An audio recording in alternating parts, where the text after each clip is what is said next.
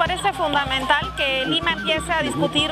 eh, y entender qué pasa con el cambio climático, cómo le afecta, pero no solo cómo le afecta de manera aislada, sino cómo le afecta de manera integral junto con otras cosas que pasan en el resto del Perú.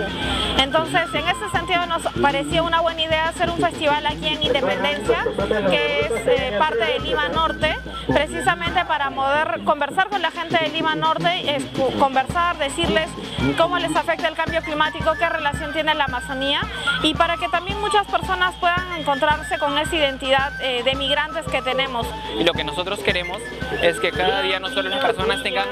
de conocimientos, tengan más acciones, así sea reducir su basura, segregar sus residuos aprovechables, hacer compost o plantar un árbol.